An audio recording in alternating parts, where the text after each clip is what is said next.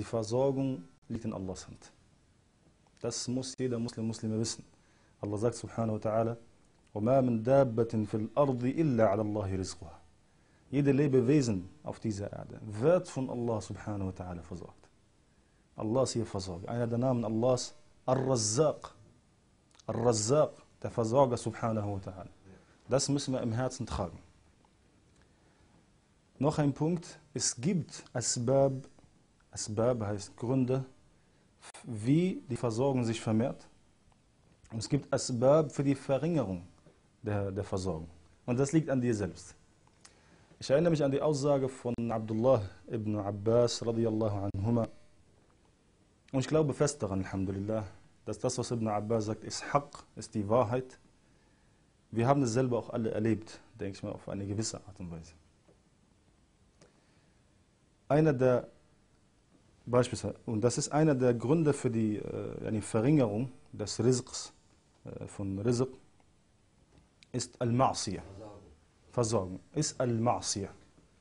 Die Sünde, die Ungehorsamkeit. Ibn al-Qayyim hat das in seinem Buch geschrieben. Das Buch heißt Al-Jawab al-Kafi.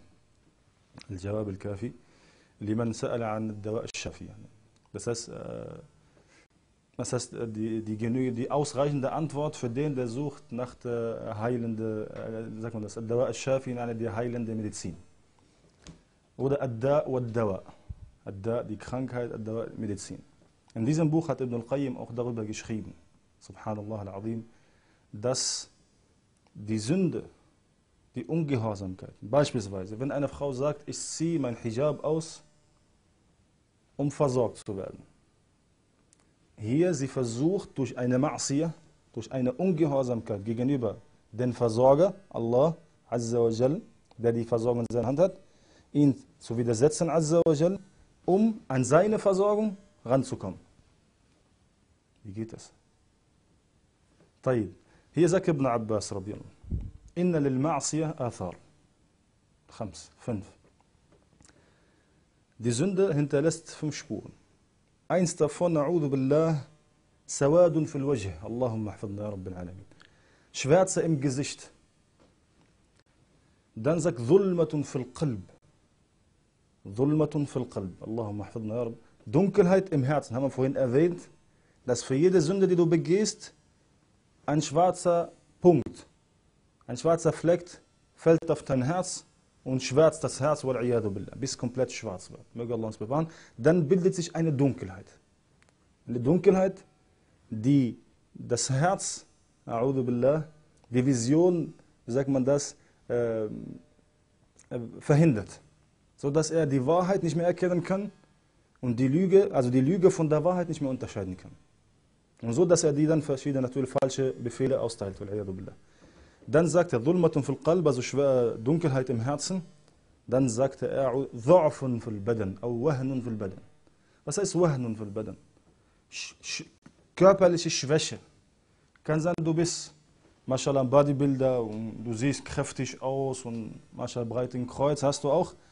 Aber du bist schwach. Du hast nicht die Kraft. Und das ist, sagen die Gelehrten, Allah nimmt dir den Mut weg. Du hast keinen Mut mehr. Dann sagt er hier, und das ist der wichtigste Punkt hier, وَذِيقٌ für Rizq. Und Verengerung oder Verringerung der Versorgung. Das heißt, die Person, die versucht durch falschen Mitteln an Versorgung ranzukommen, Allah verringert ihre Versorgung. Allah bestraft diese Person, indem er seine Versorgung verringert. Und Allah subhanahu hat uns gezeigt im Koran Azza wa Jalla. ومن يتق الله يجعل له مخرجا ويرزقه من حيث لا يحتسب. بس ان أسباب زيادة الرزق. الله زكت ونديينيك ومن يتق الله أطمن دفخو وندي زيينيك ودا دينيك دي الله فرشتت نتولش هي كمان تقوى. أنن أنا ما ألزو فزوخ ستو أكلان. والتقوى ونخشية سيفا شيد نزخن زنت. تقوى und Khashia. Zwei Worte. Khashia ist die Furcht vor Allah. Und Taqwa kann, manche Ulama sagen, das, das sich hüten vor Allah. Wie kann ich mich hüten vor Allah subhanahu wa ta'ala?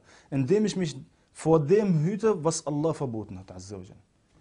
ich baue zwischen mir und das, was Allah verboten hat, das, was Allah subhanahu wa ta'ala erzürnt, azza wa jal, eine Trennwand. Ich vermeide es einfach.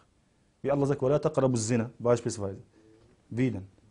Ein Alim hat sehr schön einfache Worte erklärt, sagt beispielsweise, Zina ist auf dieser Straßenseite, du gehst auf der anderen Straßenseite. Vermeide es komplett. So vermeidest du alles, was Allah verboten hat, subhanahu und das ist Taqwa Allah azza wa Ittaqil maharim. Hüte dich vor den Verboten.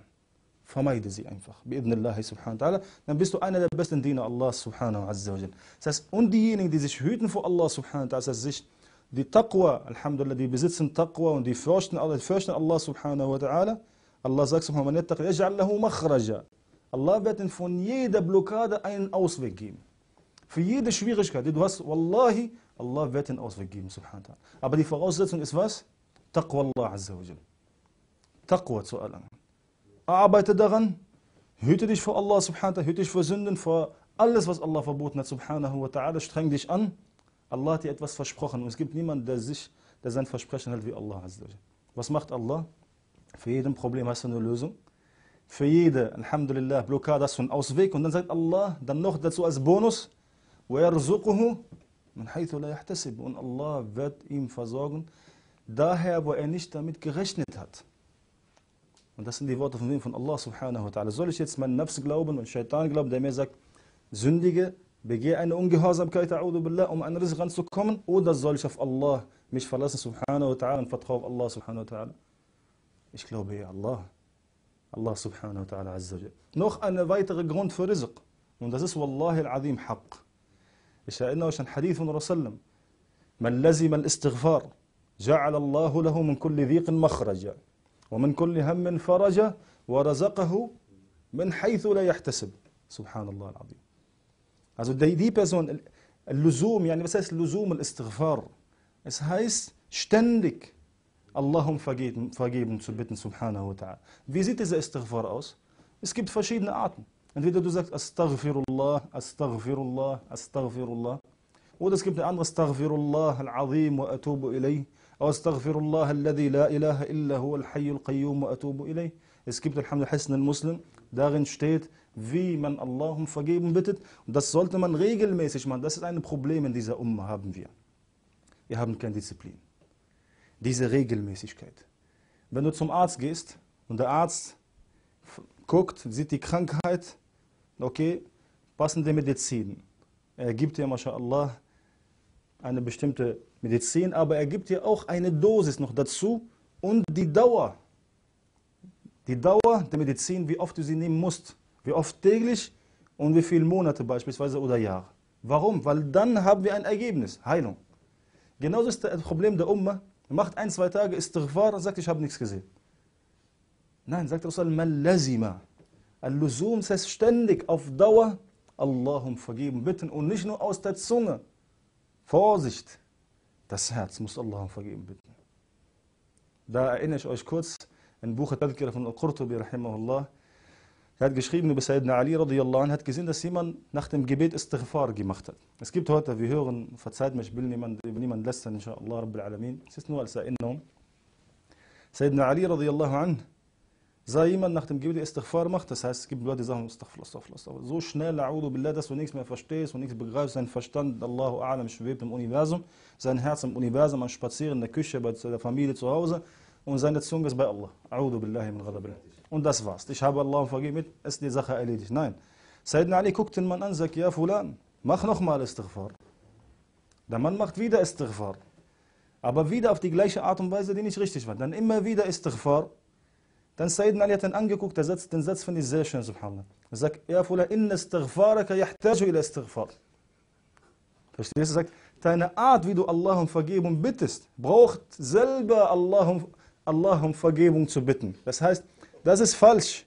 Das heißt, du musst Allah um Vergebung bitten für die Art und Weise, wie du gerade Allah um Vergebung gebeten hast. Subhan Rabbil Alamin. Nicht jeder, der Istighfar mit der Zunge macht, hat Allah, Istighfar bei Allah subhanahu wa ta'ala gemacht.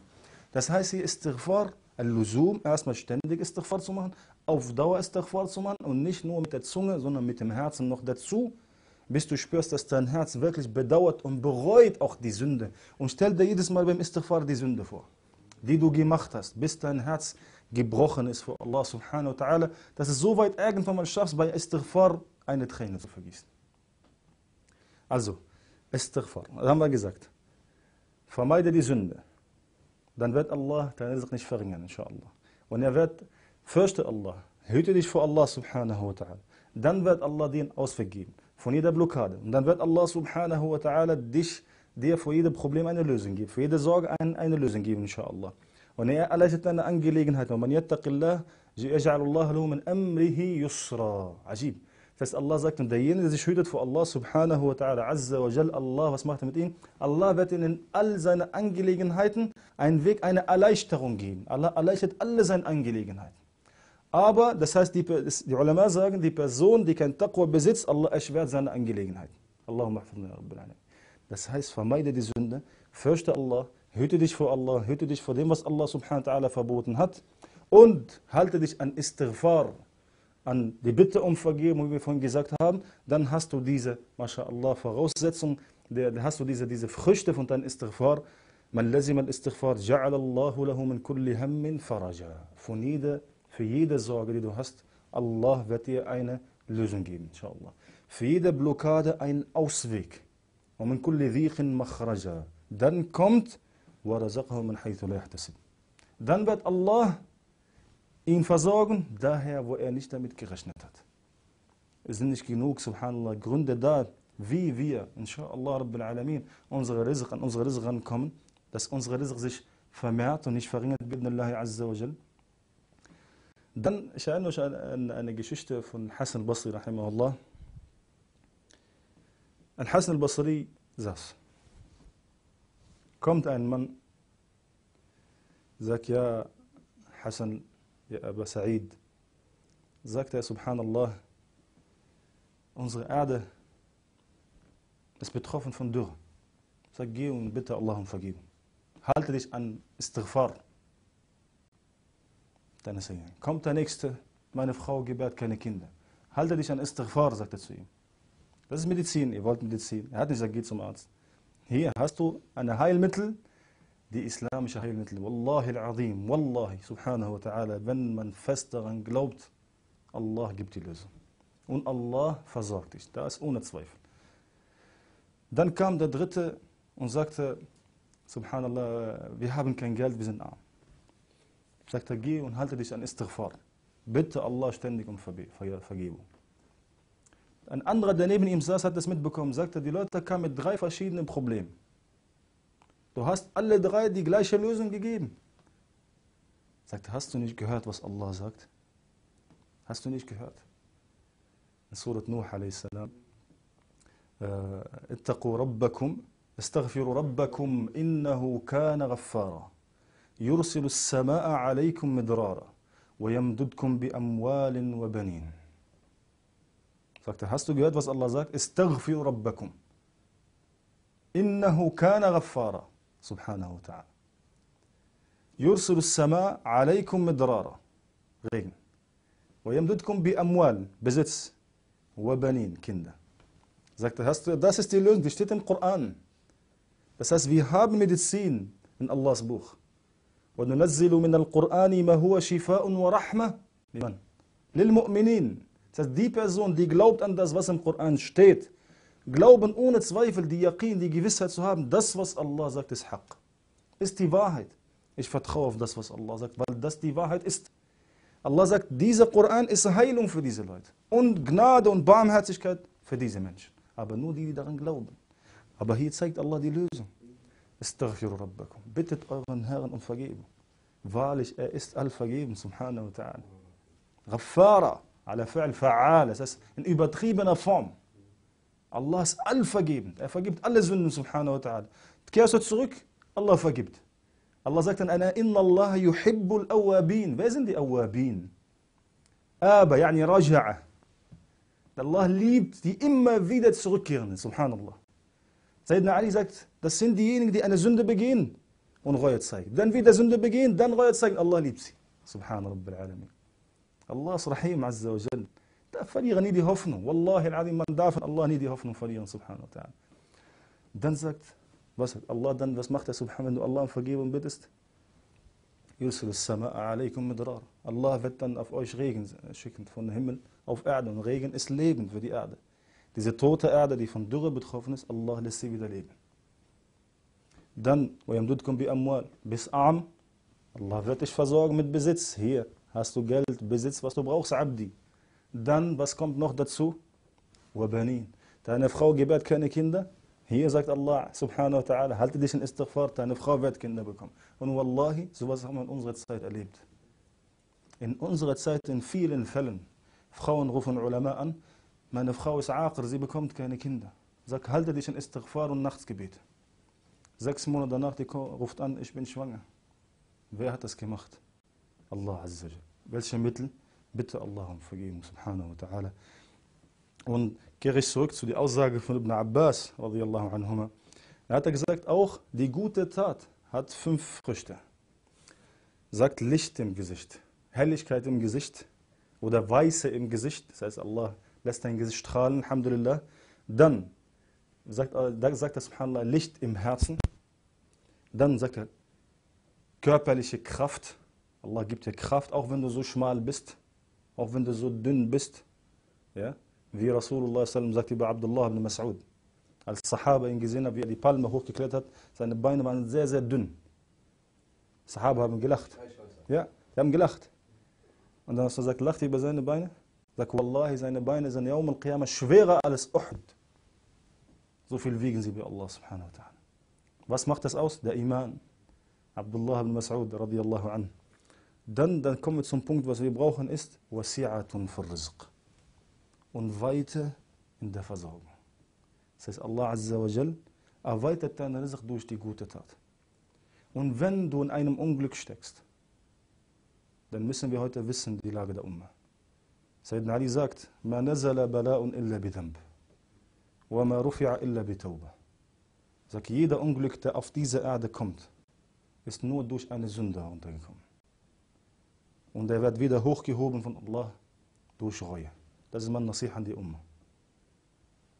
Kehrt zurück zu Allah. Verbessert euch. Wie ein Tabi sehr schön gesagt hat. أصلح ما بينك وبين الله يصلح الله بينك وما بين الناس Also verbessere die Lage zwischen dir und Allah. Dann wird Allah deine Lage zwischen dir und den Menschen verbessern. Also die Probleme liegen wo? Bei uns. Ummat Muhammad sallam muss wahrhaftig, aufrichtig zurückkehren zu Allah subhanahu wa ta'ala. Und unsere Lösung, Wallahi al-Azim, kann keiner lösen außer Allah subhanahu wa ta'ala. Und hier ist eine kleine Geschichte von Shaqiq al-Balkhi rahimahullah, ein bekannter Tabi'i. Tagelang nicht viel Essen zu Hause, die Kinder sind fast am Verhungern. Die Mutter hält aus, Alhamdulillah. Wir wissen, die Frauen, mashallah, haben, Allah ihnen wirklich eine psychische Kraft gegeben, mashallah, dass sie sogar die Geburt schon, die Schwangerschaft, die Geburt ertragen können, das ist wirklich eine Wunder Allah subhanahu wa ta'ala, die er in der Frau gemacht hat. Das heißt, die haben Stärke zum Aushalten, mashallah, Ausdauer, manchmal mehr als Männer, subhanallah. Dann kommen wir äh, zu dieser Shaqiq al-Balkhi, seine Frau sagt, wir können aushalten diesen Durst und diesen Hunger, aber deine Kinder schaffen es nicht mehr. Tu was. Er erinnert sich, subhanallah, an einen Freund. Sagt, dieser Freund hat ihm gesagt, egal was du brauchst, komm einfach zu mir. Guck mal, subhanallah. Allah sagt doch im Koran, Abdi, wenn du mich brauchst, ich bin nah. Stimmt? وإذا سألك عبادي عني فإني قريب أجيب دعوة الداعي إذا da. Allah ist nah. Subhanahu wa ta'ala. Warum wenden wir uns nicht zu Allah? Zweifeln wir an Allahs Versprechung, subhanahu wa ta'ala? Möge Allah uns bewahren. Shaqiq al-Balkhi unterwegs geht an die Moschee vorbei. Subhanallah. Sagt er, ich mache zuerst zwei Raka'at, dann gehe ich zu meinem Freund. Geht in die Moschee rein, subhanallah, betet zwei Raka'at, kurz nach den zwei Raka'at ist eingeschlafen. In diesem Schlaf, eine Stimme spricht zu ihm, subhanallah al-Adha, hada min Allah, Ru'ya min Allah. Und Ru'ya ist Haqq im Islam. Sag, ja Shaqiq, تدل الناس علي وتنساني الله أكبر Allah sagt, ja Shaqiq al-Balkhi, du gehst zu den Menschen und weist die Menschen auf mich darauf hin, darauf hin. Das heißt, du rufst die Menschen zu mir, damit sie mich bitten, wenn sie Probleme haben, wenn die Sorgen haben und du vergisst mich, das heißt, du gehst zu deinen Freunden und vergisst du mich, weil er direkt vorhatte zu gehen. Dann sagt, bin ich aufgewacht nach diesem Ruf und ich habe mir vorgenommen, nicht zu ihm zu gehen. Weil ich mir dachte, Allah subhanahu wa ta'ala genügt mir azza wa jal. Sagt, dann bin ich nach Hause zurückgegangen sagt, Wallahi, mein Freund, den ich vorhatte, zu ihm zu gehen, war bei mir zu Hause und hat mehr gegeben, als ich verlangen wollte. Wer ist der Gebende? Allah. Auf ihm allein musste die Umma sich heute verlassen. Ad-Dua. Es gibt einen anderen, viele Geschichten, das war von Sa'id ibn Jubayr, rahimahullah. Sa'id ibn Jubayr ist sehr bekannter Tabi'i, mashallah, der vom Hajjaj ibn Yusuf getötet wurde. Sa'id ibn Jubayr war bekannt, dass seine Bittgebete erhört werden bei Allah subhanahu wa ta'ala. Eines Tages, und er hat einen Hahn, Dik, Dik, ein Hahn bei sich zu Hause, der immer subhanallah ihn zum Gebet weckt, Nachtsgebet weckt. Durch dieses äh, Geräusche, die er macht. Diese Töne, die er Wie heißt das auf Deutsch? Khair inshallah. Jeder weiß, was ein Hahn macht, alhamdulillah. طيب, sagt, eines Tages, eines Nachtes hat dieser Hahn, subhanallah, ihn nicht geweckt. Dann Sa'id ibn Juwa sagt, Qata Allahu sawta. Also wenn der Hahn, er krähte jede Nacht, subhanallah, aber in dieser Nacht hat er es nicht gemacht, so dass Sa'id ibn Jubayr nicht nachts aufstehen könnte, um Qiyamul Layl beten zu können. Dann ist Sa'id ibn Jubayr sauer geworden und sagt, Qata Allahu sawtaka. Das ist so eine, eine, eine spontane Dua. Möge Allah dir deine Stimme nehmen. So ungefähr. Und subhanallah, sagt die Frau von Sa'id ibn Jubayr, sagt, ab dem Tag hat dieser Hahn nicht mehr gekräht. Gekräht heißt das auf Deutsch, Wallahu Sagt, wir haben ihn nicht mehr gehört. Dann sagt die Frau von Sa'id ibn Jubayr zu Sa'id ibn Jubayr, du darfst gegen keinen mehr Dua machen. So stark sind die Leute damals gewesen im Dua zu Allah subhanahu wa ta'ala. Und es gibt mehrere Geschichten, subhanallah. Ich weiß nicht, äh, Hassel, ja, es gibt äh, Duas, sehr viele Duas, sehr viele Geschichten. Der Mann hat es spontan gesagt, vom Herzen. Aber das ist ein Beweis, dass ein Bittgebet erhört wird von Allah subhanahu wa ta'ala. Und es gibt so viele schöne Geschichten, das heißt, Allah ist nah, Allah ist da. Ruf zu Allah subhanahu wa ta'ala. Man sagt, Dua silahul mu'min. Das Bittgebet ist die Waffe des Mu'min. Stimmt? Das heißt, das ist zwischen dir und Allah. Du brauchst nur die Hände hochzuheben zu Allah. Richtiges Essen, gutes Essen, halal Essen. Wende dich in der Zeit, wo, es gibt Zeiten, wo Allah die Bittgebete erhört. Mach richtig Wudu, wasch dich richtig zum Gebet. Geh zwei Raka'at beten, im Sujud, im Niederwerfen. Urwa ibn Zubayr, wir haben heute so viel Mittel von Allah, aber wir vergessen sie oder wir vertrauen nicht darauf, subhanallah. Und das ist gefährlich, das ist Zweifel. Und das kann den Mu'min sogar fast aus dem Islam rauswerfen. Möge Allah uns bewahren. Kein Zweifel, das muss mit Gewissheit verrichtet werden. Urwa ibn Zubayr, das ist der Sohn von Az-Zubayr ibn al-Awam, radiyallahu anh, sah, wie ein Mann betet, und das ist der Fall von vielen Muslimen heute leider. Möge Allah sie bewahren. Er sah, wie er das Gebet so pickte wie ein Hahn. Das heißt, im Sujud ganz schnell runter und wieder hoch. Ur ibn Zubayr, nachdem der Mann fertig war, geht zu ihm und sagt, oh, man sagt, da hast du nicht einen Wunsch, den du Allah fragen willst? Willst du nichts Allah fragen im Sujud? Das heißt, du bist gerade an der Quelle.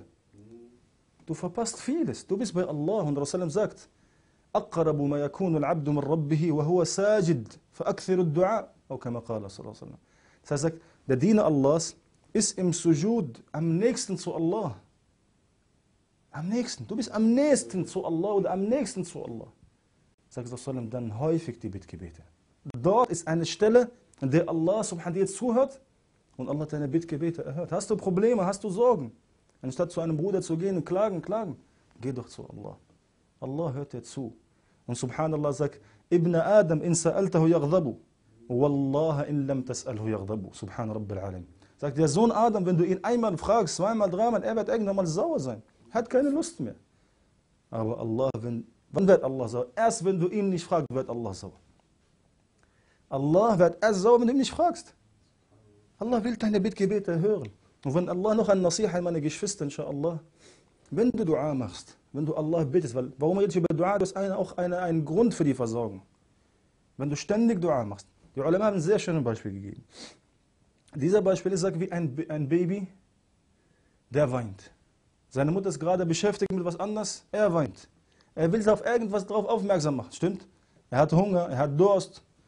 Er weint, er weint, bis sie alles liegen lässt und geht zu ihm und stillt ihn. Dann ist er zufrieden. Genauso bei Allah, sagen wir, müssen wir bei Allah weinen. Weinen. Weinen, wie das Baby so oft weint, bis die Mutter ihn stillt und ihn zufriedenstellt. So weinen wir bei Allah. Weil jedes Mal, jedes Mal, wenn du weinst und Allah bittest, klopfst du an die Tore des Himmels. Du bist am Anklopfen. Natürlich, das muss mit Demut sein, das Herz muss sich zu Allah wenden, subhanahu wa ta'ala. Du klopfst in den Toren des Himmels. Bei wem? Bei Allah. Und Abu Darda sagt, derjenige, der ständig anklopft im Himmel, steht, es steht kurz bevor, dass die Toren sich für ihn öffnen. Verstehst du das? Gebe nicht direkt auf. Und da gibt es ein Hadith, sagt Allah subhanahu wa ta'ala, wenn er einen Menschen liebt und der bittet Allah ständig, Allah gibt ihm nicht direkt seine Sache. Warum? Weil Allah dich hasst? Nein. Denke nicht so von Allah Azza wa Denke niemals so von Allah subhanahu wa ta'ala. Husnul Dhann nennt man das. Das gutes Denken von Allah Azza wa Allah gibt dir noch nicht. Warum? Nicht, weil er dich hasst. Nein. Allah sagt zu Jibril, ja Jibril, erledige noch nicht seine Sache.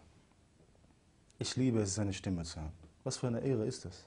Dass Allah deine Stimme hören will. Und dann später kriegst du deine Sache. Und wenn nicht, kriegst du was Besseres von Allah. Auch wenn es sich hinauszögert, die Antwort wird kommen, weil Allah es versprochen hat. Allah hat es versprochen, subhanahu wa ta'ala, zu antworten. Und niemand hält sein Versprechen wie Allah, subhanahu wa ta'ala. Also bittet Allah, subhanahu wa ta'ala. Es gibt so viele, wallahi, schöne Geschichten, subhanallah al-azim. Die, es gibt man einen ein, ein, ein Mann, der war ein Götzenanbeter. Und dieser Mann, billah, er macht Tawaf um seinen Götzen. Und natürlich, der ruft, ja, Sanam, Sanam ist ja das Wort für Götzen, billah, ja, Sanam, gib mir das, ja, Sanam, versorge mich, ja, Sanam, äh, heile mich, ja, Sanam, billah, min billah. Und es gibt ja einen Fitra in den Menschen, die menschliche Veranlagung, Fitra. Allah subhanahu wa ta'ala, dieser Mann, subhanallah, aus Fehler, wegen der Fitra, die in ihm steckt, er sagte, ja, Samad. الصمد هو الذي تصمد إليه الناس لقضاء حوائجهم Samad ist Allah Azza wa Jal. Was heißt Samad? Das heißt, Allah ist derjenige, zu sich alle Geschöpfe wenden, damit er ihre Angelegenheiten erledigt. Huwa Samad, wir lesen oft Qul Samad, wir verstehen sie nicht. Genau. Das heißt, alles ist von ihm abhängig und das wissen die Menschen, deswegen müssen sie zu ihm, subhanahu wa ta'ala, weil sie wissen, dass er die Angelegenheiten erledigt. Azza wa Jal. Aber viele wissen es, wissen es, aber wissen es eigentlich nicht. Dass sie wissen es mit dem Kopf, aber sie haben keine Gewissheit und Überzeugung darüber. Billah. Der Mann aus Versehen sagte, ja, Samad. Allah sagt, Labbaika Abdi. Und das war Zeit von Musa. Musa sagt, ja, Rabb. Er hat das aus Versehen gesagt. Er meint dich nicht, ja Allah. Allah sagt, gibt es einen anderen Samad, der antworten wird außer mir? Allahu Akbar Rabbil Alamin, subhanahu wa ta'ala. Also, liebe Geschwister, wendet euch zu Allah. Inshallah, vielleicht, wenn Allah will, subhanahu wa ta'ala, werden wir, inshallah, ein Dars machen über das Bittgebet im Islam ausführlich mit schönen, wahren Geschichten im Islam, damit wir daraus lernen. Wallahi al-Azim, und ich schwöre bei Allah Azza wa letzte Drittel der Nacht, aufstehen, Tränen vergießen, Allah löst alle eure Probleme. Sucht nicht, billah, die Lösung in der Ungehorsamkeit Allahs subhanahu wa ta'ala, denn damit erweckt man den Zorn Allahs und Allah bestraft dann, billah. Und eins muss man auch verstehen, wenn du als Muslim wenig von Allah bekommen hast, heißt nicht, dass Allah dich hasst. Nein. Und wenn du siehst, dass Allah jemanden gibt, der vielleicht Kafir ist oder der ein ungehorsamer Diener ist, und du siehst, Allah gibt ihm viel Dunya, denke nicht, dass Allah ihn liebt. Wir haben andere Maßstäbe im Islam. Das ist ein Hadith von Rasulullah sallam. Sag, wenn du siehst, das ist nur alles eine Erinnerung von meinen Geschwistern, damit die nicht aufgehen.